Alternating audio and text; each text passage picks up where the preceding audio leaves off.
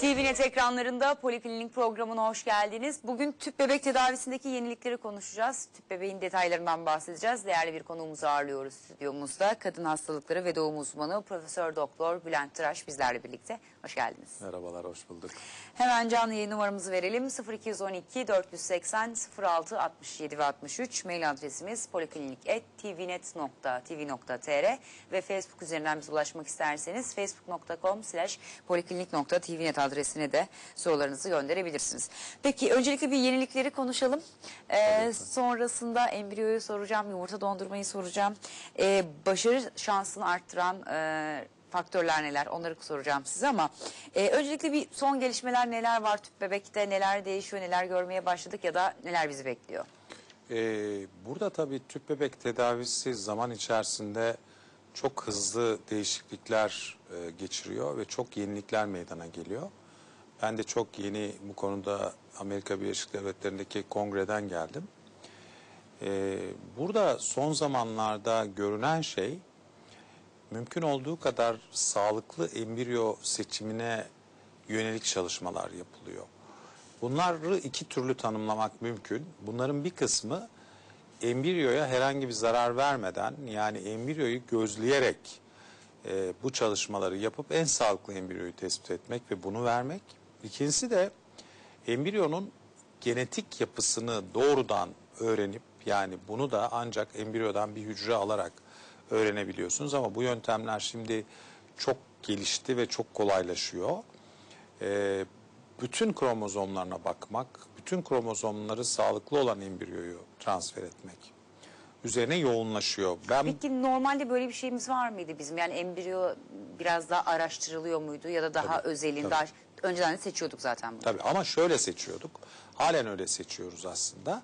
Bu embriyoların laboratuvarda durduğu sürece her gün bir kez bu embriyolar bizim inkübatör dediğimiz bulundukları yerlerden çıkarılıyor. Mikroskop altında inceleniyor ve işte kaç hücreli oldukları, hangi kalitede oldukları tespit ediliyor, yerine konuyor.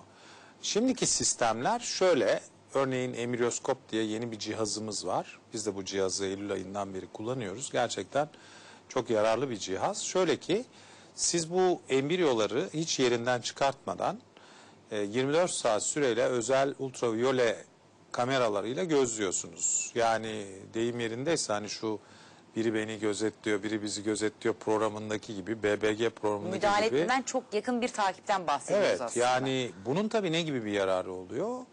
Ee, gerçekten biz de çok etkilendik görüntülerden. Şöyle ki biz o embriyonun dört hücreye ulaştığını görüyoruz mesela laboratuvarda. Bir gün sonra, iki gün sonra dört hücreye ulaştı. Ama dört hücreye ulaşırken hücreler nasıl bölündüler? Örneğin işte bir hücrenin ikiye bölünmesi lazım, onun ikiye bölünmesi. Öyle gitmiyor da bazen anormal bölünmeler oluyor. Bir hücreden üç hücre çıkıyor vesaire veya bu esnada embriyoda bir takım garip değişiklikler oluyor. Metabolik dediğimiz embriyonun kendi içinde değişiklikler oluyor.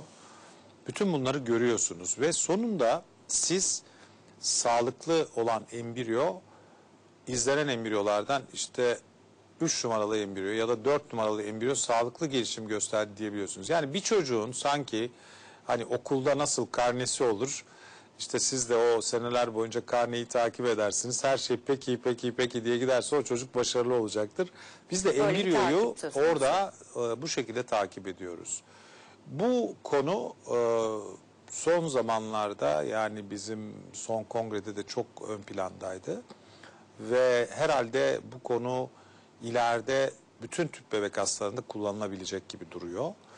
E, bir diğer konuda, yeni bir konuda yani bu embriyoya dokunmadan yapılan bir şey ama embriyonun genetik yapısını aslında öğrenmemiz lazım. Çünkü sağlıklı olmayan embriyoları transfer etmememiz lazım. Embriyo biçim olarak, şekil olarak çok güzel ama genetik yapısı arızalı.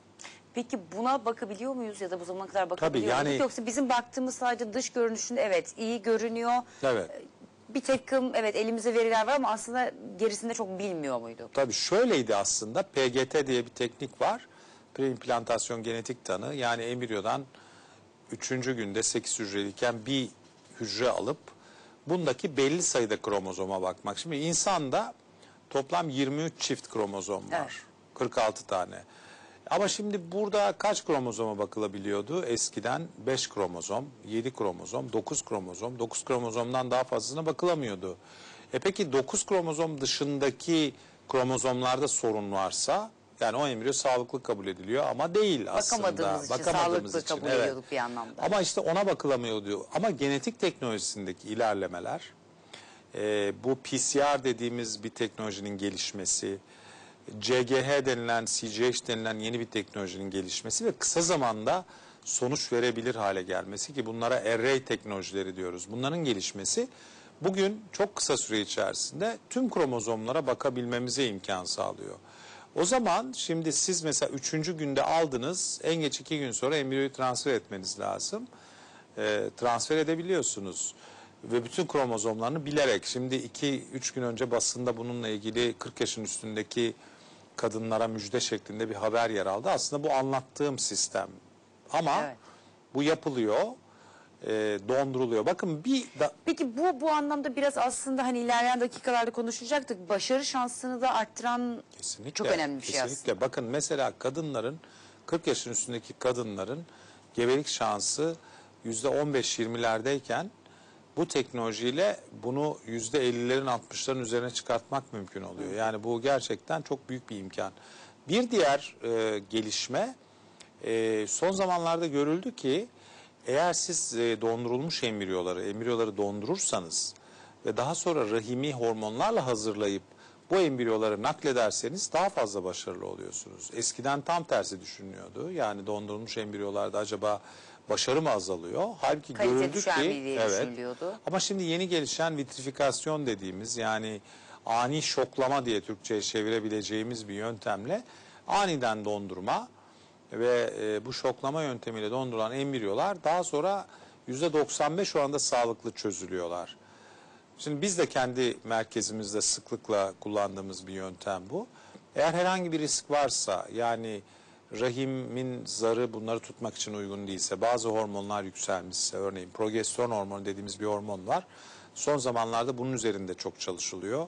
Progesteron hormonu belli bir seviyeye geçtiğinde rahim zarına bu embriyoların tutunma ihtimali azalıyor. O zaman biz bu embriyoları mesela elde ettik transfer etmiyoruz.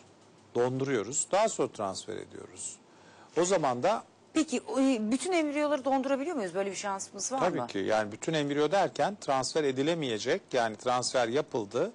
Geri kalan embriyolar ama kaliteli embriyoları dondurmak Donduruyor. lazım. Yani Peki bunun ne kadar süre içerisinde e, kullanılması gerekiyor? Böyle bir sınırımız var mı? hiçbir sınır yok esasında ama ülkemizde e, 2010 senesinde çıkan tüp bebek yönetmeliği 5 yıl olarak bir süre getirmiş durumda. 5 yıl süreyle bu embriyolar dondurulabiliyor, saklanabiliyor. 5 yılın ötesinde e, Sağlık Bakanlığı'nın e, iznine tabi. Dolayısıyla 5 yıldan daha fazla dondurmak isteyen çiftler olursa Sağlık Bakanlığı'na müracaat etmeniz gerekiyor. Onun dışında eğer dondurulduysa da bunların yok edilmesi sağlanıyor diyebilir miyiz? Eğer ya da? çift devamını arzu etmiyor ise embriyolarının e, donmasının ya da ortaya öngörülemeyen başka problemler çıkarsa örneğin gene bizim merkezimizde oldu. E, Çok gazetelerde de yer aldı. Mesela bir çift tüp bebek tedavisi yapmışlar. Embriyolarını dondurmuşlar. Daha sonra e, anne adayı kadın kanser oluyor ve e, daha sonra da gö- tedavileri görüyor. Bu embriyoları nakledemiyorlar. Eşiyle boşanma aşamasına geliyor ve boşanıyorlar. E, şimdi bu durumda e, ortaya bir ihtilaf çıkıyor. Erkek embriyoların imha edilmesini istemiyor. Kadın imha edilmesini istiyor. Bu hatta mahkemeye kadar gitti.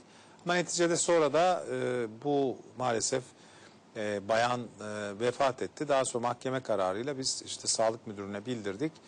Gözetim altında embriyoları imha ettik. Yani mesela boşanma, ölüm gibi böyle kesinleşen durumlarda da bu embriyolar imha ediliyor. Peki şöyle bir şeyin olma ihtimali var mı? Yani biliyorum aslında bu konuda birçok merkezde de e, çok düzenli bir çalışma var. Zaman zaman tüp bebekle ilgili ilk dönemlerde işte e, spermin, yumurtanın ya da işte bir takım karışıklıkların olabileceği endişesi çok yaşandı. O dönemi atlattık ama şimdi de insanların gene tedirgin olduğu şeylerden bir tanesi bu embriyonun dondurulması ile ilgili. Bunun dondurulup sonra... E, bilerek ya da bilmeyerek diyeyim e, başkasına aktarılması gibi bir şey söz konusu olabilir mi? Yoksa bu da gene yani çünkü az sonra çok ciddi kalabalık bir ekip çalışıyor.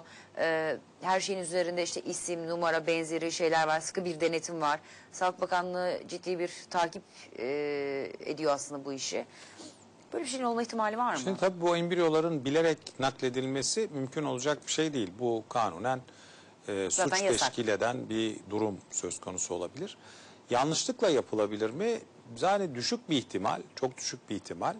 Tabii ki hani e, kesinlikle yüzde yüz olamaz, hiçbir zaman denemez ama yani bu da bana göre bir milyonda bir olasılık bile değil. Çünkü sizin de söylediğiniz gibi zaten bu dondurulan e, embriyolar özel tanklar var. Bu tanklarda her bir e, hastanın dondurulan embriyolarının bulunduğu bizim straw dediğimiz kapların üzerine hastanın ismi yazılıyor, embriyolar yazılıyor ve bunlar özel bölmelere yerleştiriliyorlar. Her hastanınki dolaba özel. koydun değil yani bu. Tabii tabii yani aldık biz embriyoları hadi buzdolabına değil yani o özel tanklara yerleştiriliyor. Hatta bunların son zamanlarda daha da sistematik hale getirilmiş elektronik tankları var. Yani siz oradan mesela seçiyorsunuz bilgisayardan 328 numaralı Ayşe Hanım'ın embriyoları diyor. Şu diyor şeyde Straw'da kendisi çıkartıyor aletin. Yani siz dokunmuyorsunuz bile yani gidip de arayayım da hangisi değil yani. Çünkü zaten sıvı azot eksi 273 derecede e, öyle hani kolay bir yöntem değil, Değil. bunlar. Dolayısıyla bunlar daha da giderek otomatize hale geliyorlar bilgisayar sistemleri gibi. Yani bir yanlışlık yapılma ihtimali son derece düşük. Düşük. Peki e, gene bu yenilikler arasında e, insanların merak ettiği şeylerden bir tanesi en son bir rahim nakli yapıldı. Evet. Sonrasında tabii gene böyle e, tüp bebek çok gündeme geldi. E, rahim nakli yapılıp kişiye e, tüp bebek yöntemiyle hamile gebe bırakmak mümkün mü? Böyle bir şeyden bahsedebilir miyiz? Tabii teorik olarak mümkün ama pratikte gerçekleştirilmiş bir olay değil.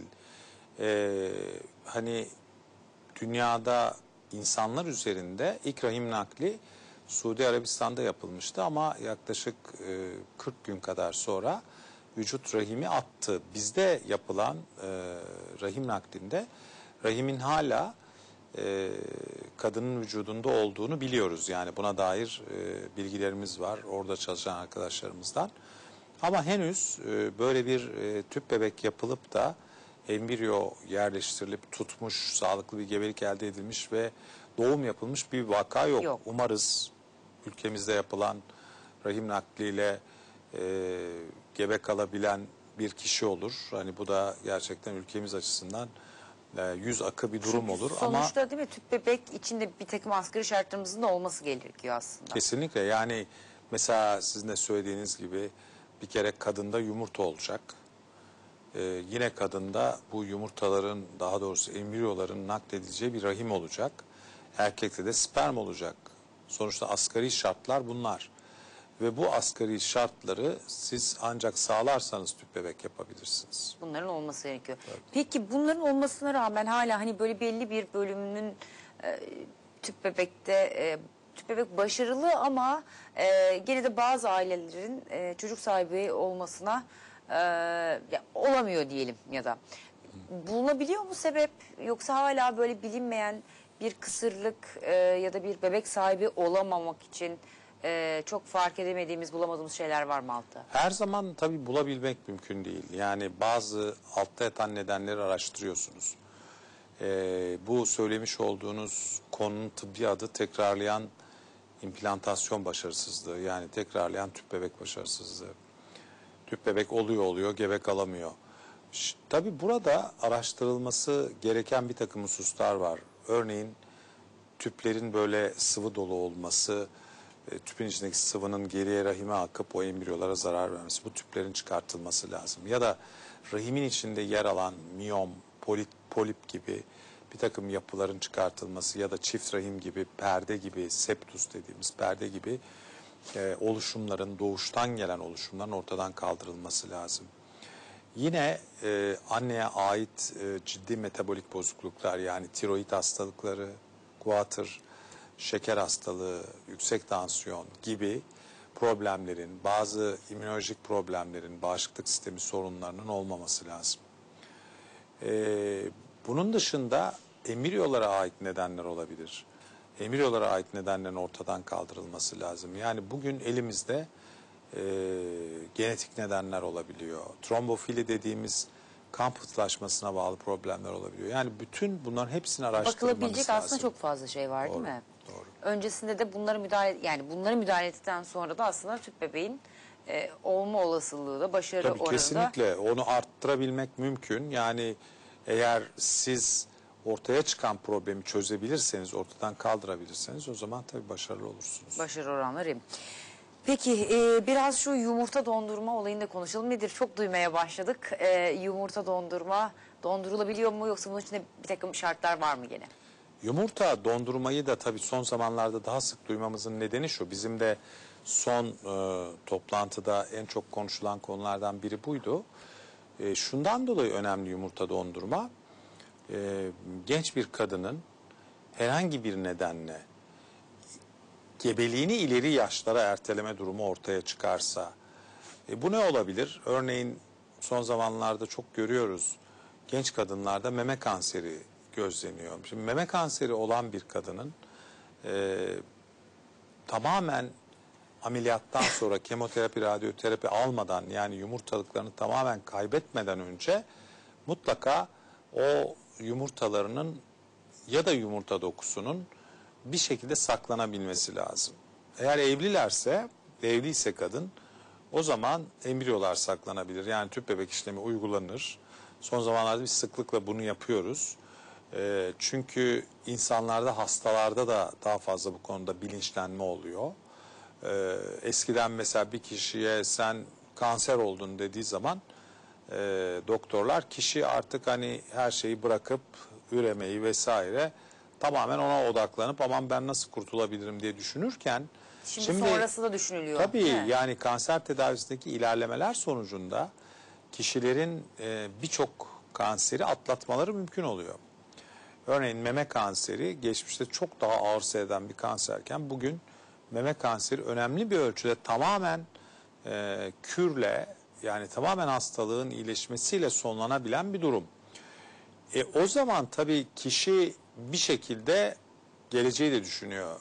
E, siz 28 yaşındaki veya 32 yaşındaki bir kadında meme kanseri tespit ederseniz e, bu kadının da yani anne olmaya hakkı, Hakkı var, var. sonuçta. Peki buradan devam edelim. Tabii. Hattımızda bir izleyicimiz var. İyi günler, hoş geldiniz. Hoş bulduk.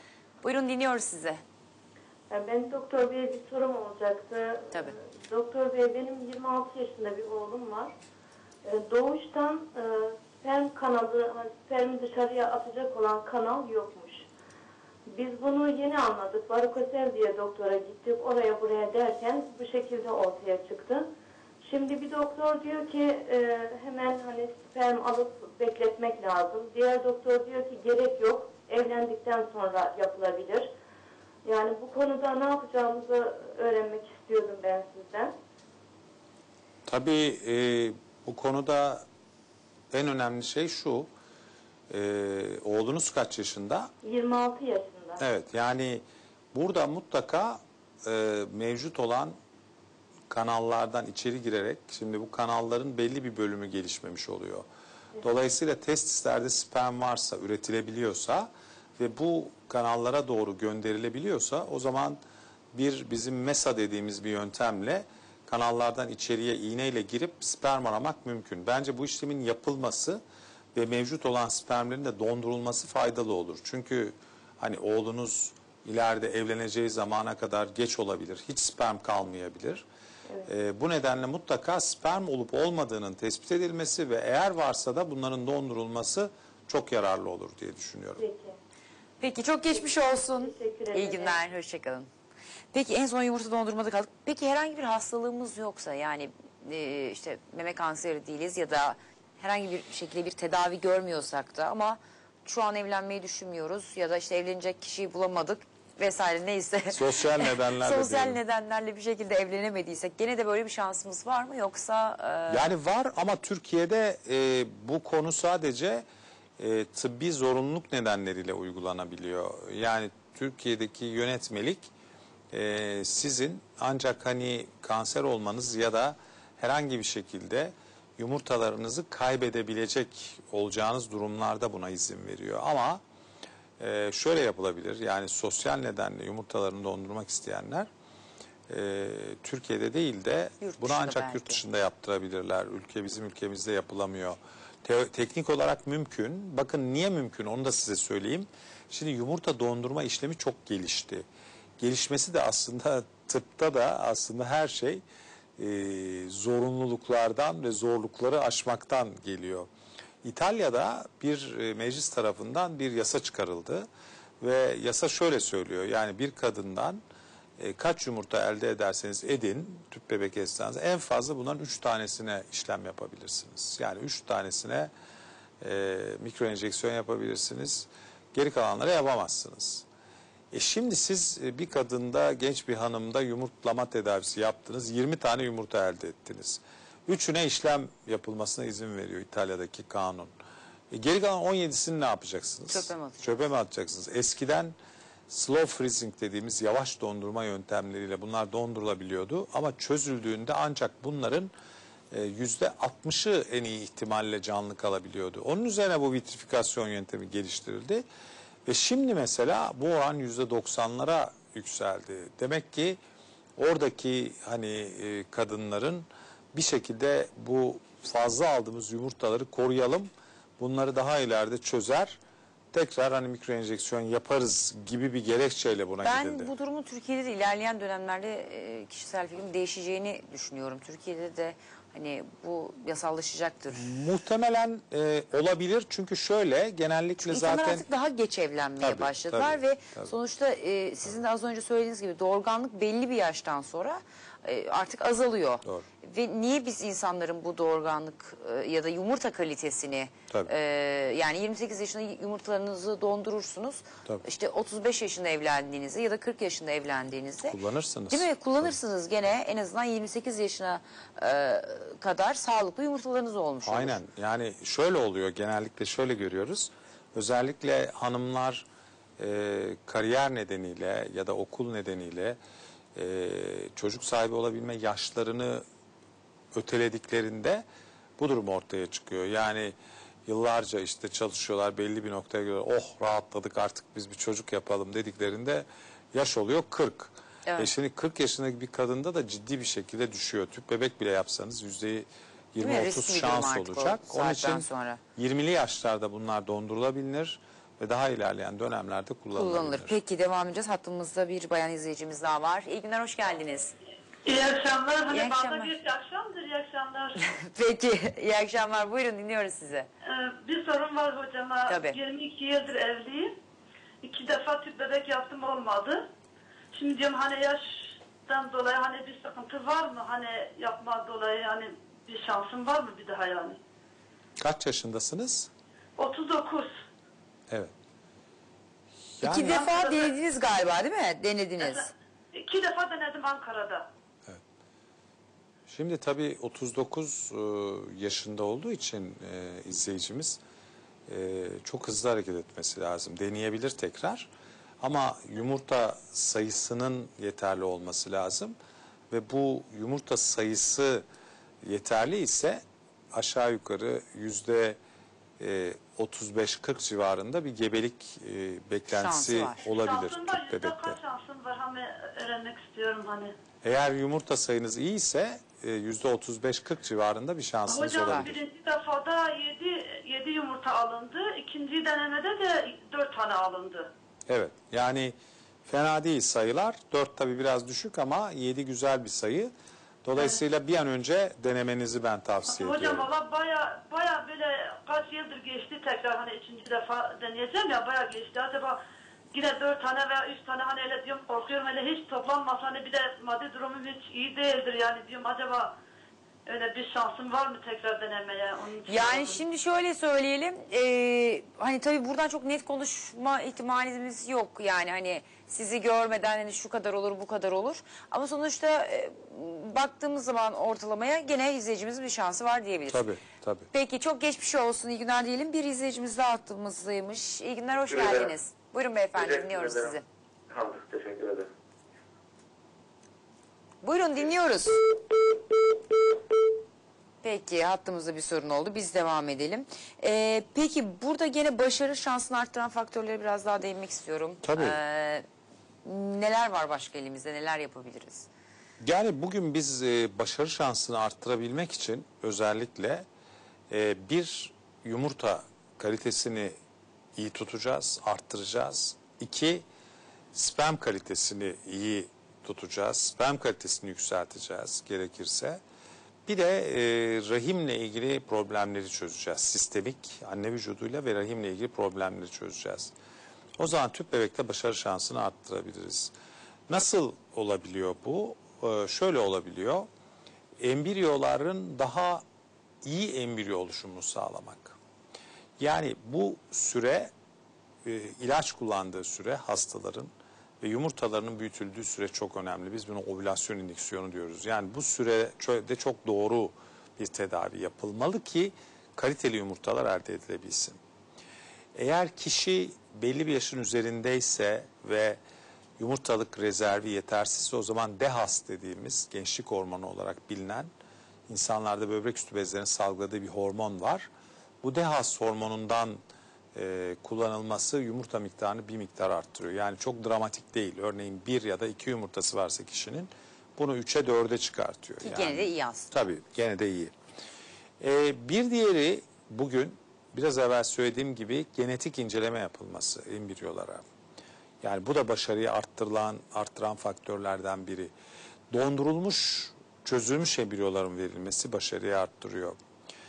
Bir diğeri son zamanlarda özellikle rahimin içine böyle bir kamerayla girip rahimin içinde yapılan herhangi bir işlemin ki buna scratching deniyor yani rahimin içini çizme gibi bir operasyonun e, rahim duvarındaki yenilenme, endometriyal yenilenme nedeniyle gebelik oranlarını arttırdığı biliniyor. Hatta şu anda Avrupa'da trofi adı altında devam eden bir çalışma var. Yani bir gruba böyle önceden histeroskopi yapılıp rahimin içine bir takım işlemler yapılıyor. Diğer gruba yapılmadan direkt tüp bebek yapılıyor. Daha devam eden bir çalışma. Sonuçları yayınlanmadı. Buna bakılacak gibi e, yeni yöntemler mutlaka kullanmamız lazım. Peki devam edeceğiz. Hattımızda bir izleyicimiz daha var. İyi günler, hoş geldiniz. İyi günler. Buyurun dinliyoruz sizi. Ee, merhaba. Biz e, yaklaşık bir iki buçuk yıllık evliyiz. Evet. Ee, e, iki buçuk yıl sonra işte çocuğumuz olmadığı için hastaneye başvurduk. İlk başta e, işte e, bir şeyler yaptılar. E, onda bende yumurta tembelliği çıktı. Evet. Yumurtlama tembelliği çıktı. Sonra daha sonra eşime sperm analizi uygulandı. Eşimin sperm analizi sonucunda şiddetli oligoastenoterat ozospermi diye bir şey çıktı. Evet. Ee, sonra eşim tedaviyi reddetti. Yani gitmedi sonra. Acaba e, tekrardan hani bir çocuk sahibi olabilir miyiz? Tüp bebek tedavi şansımız var mı acaba? Sayı nedir efendim?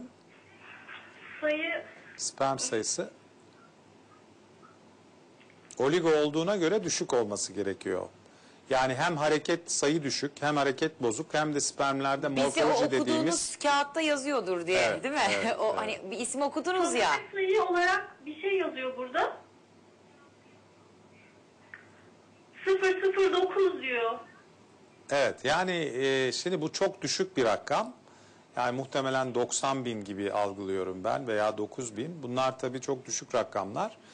E, şiddetli oligoastenoteratozospermi şu demek. Yani eşinizde hem sperm sayısı az hem hareketleri yetersiz, hareketsiz spermler hem de şekil bozuklukları var, morfoloji bozukluğu. Bu durumda yapılması gereken e, şey en hızlı bir şekilde tüp bebek yoluna gitmektir. Yani size önerilecek şey tüp bebektir. Sizin yaşınız kaç? 25 yaşındayım. Eşimin yaşı da 23. Tamam. Yani sonuç olarak e, siz hani e, hızlı bir şekilde tüp bebeğe gitmeniz lazım. Yaşınızın genç olması nedeniyle tüp bebek tedavisinde şansınızın iyi Daha olacağını düşünüyorum avantajlı, ben. değil Evet. mi? Peki eşiniz kabul etmedi mi tüp bebeği? Ee, İşte bu şey o, ozospermi işte çıktığı için hani morali bozuldu. Sonra da tedaviyi kabul etmedi. Bir de tabii maddi maddiyat da var biraz. Çok geçmiş olsun. Ee, bence en kısa zamanda eşinizi ikna etmeye çalışın ki hani en azından daha da bir kayıp olmadan en azından bir şeyler yapılabilsin. Çok Peki. teşekkür Çok ediyorum. geçmiş Umarım- olsun. İyi günler. Peki e, burada yaş da çok önemli değil mi aslında? Bayan yaşı çok önemli. Aslında erkek yaşının da giderek onun da önem arz ettiği ortaya çıkıyor. Eskiden hani bayan yaşının sadece önemli olduğu düşünülürken günümüzde erkek yaşının da artık e, önemli olduğu anlaşıldı. Şöyle ki bayanlarda özellikle e, sınır biraz evvel söylediğim gibi 37, 38, 35'ten sonra alarm zilleri çalmaya başlıyor.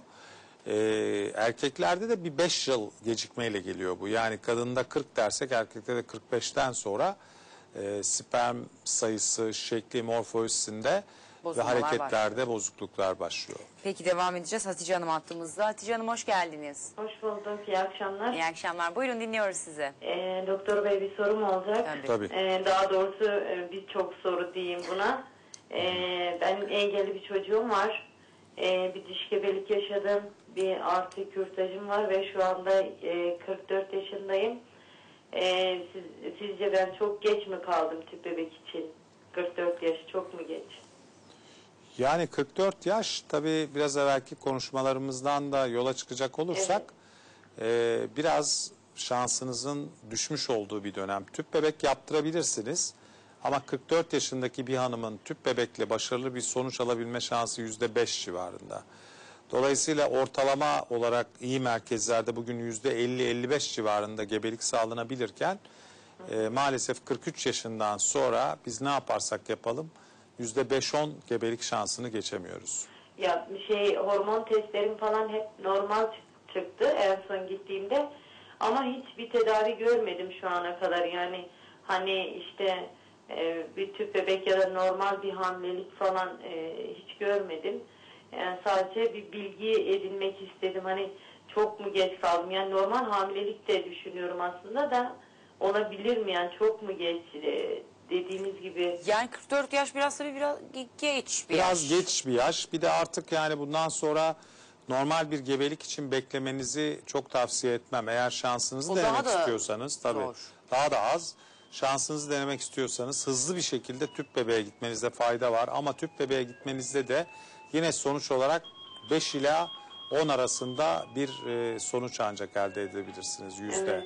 Hatice Hanım çok geçmiş olsun. Kafanız mı çalıyor bu arada? Evet, evet çocuğum engelli demiştim dışarıdan geliyor. Ee, Peki. pardon doktor beyle nasıl irtibat? Şöyle yapalım. e, bu konuda içeriden arkadaşlarımız size yardımcı olsunlar. Çok geçmiş olsun. Oldu teşekkürler. İyi günler sağ olun. İyi.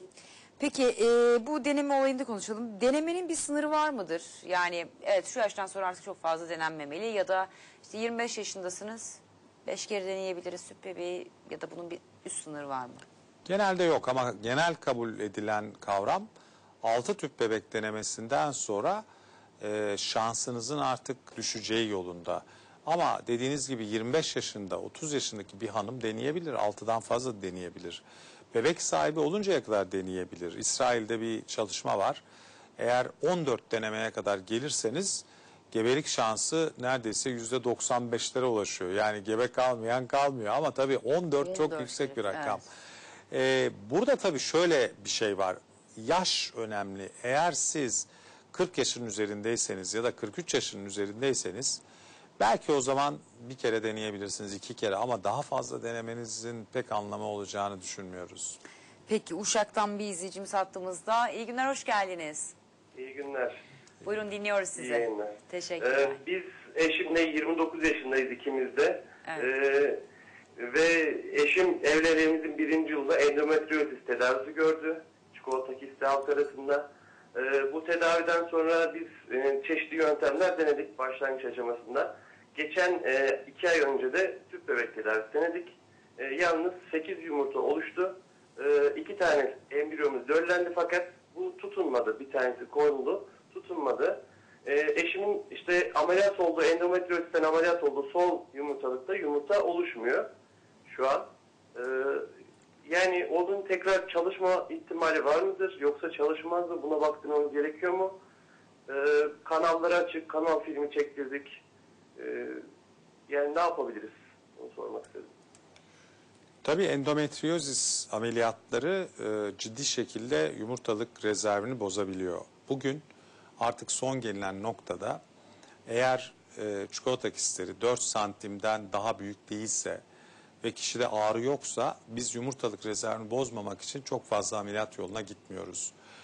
Ee, burada tabii hani elde edilen 8 yumurta yine fena bir sayı değil. İki tane de embriyo gelişmiş. Zaten e, eşinizin yaşında transfer edilebilecek embriyo sayısı da bir. İlk iki denemenizde bir. Bence e, sol yumurtalıkta yumurta olmamasının çok önemi yok. Sağda varsa eğer siz çok hızlı bir şekilde tüp bebek yoluyla gebek kalmaya çalışın. Çünkü gebelik elde etmeye çalışın. Çünkü e, endometrioz ilerleyici bir hastalık. İlerleyen zamanlarda tekrar çıkabilir. Tekrar çikolata kistleri olabilir. Tekrar endometrioz olabilir. Bu da e, ciddi şekilde şansınızı azaltacaktır. Eğer gebelik temin edebilirseniz tüp bebek ile bu da tabii hastalığın da aynı zamanda baskılanmasına yol açacaktır. Yani bir taşla iki kuş vurmuş olacaksınız. Hem gebelik elde edeceksiniz hem de endometrioz hastalığı baskılanmış olacak. Peki çok geçmiş olsun. Teşekkür ederim. iyi yayınlar. Teşekkürler, iyi günler. Hocam programın sonuna doğru geliyoruz. Son olarak bir toparlamak gerekirse neler söylersiniz izleyicilerimize? Ben aslında hep sizinle yaptığımız programlarda hep şu mesajı veriyorum. Aman hamile kalmak için hanımlar çok geç kalmasınlar. Özellikle e, sosyal nedenlerle yani evlenen bir çift sosyal nedenlerle bu işi çok uzatmasın. Yani biz işte belli bir süre çocuk istemiyoruz. Daha hani korunacağız, kariyer yapacağız, hayatın tadını çıkacağız vesaire ama bu arada çocuk işi kaçmasın. Peki Yani burada ideal bir yaş var mıdır bayan ve erkek? 35'ten önce e, kadınlarda bence 40 yaşından önce de erkeklerde bu işin yapılmasında fayda var. Ama yani daha ileriye doğru gidiyorsa artık tabii kadında 43'e erkekte de belli bir sınır olmamakla beraber bence 48-50 yaşına geldikten sonra iş çok zorlaşıyor. Hem çocuğun olması çocuk olduktan sonraki süreç de aslında biraz zor. O da zorlaşıyor. Yani gebelik elde ederseniz bu sefer o gebeliklerde kromozom anomalili bebek doğma ihtimali artıyor.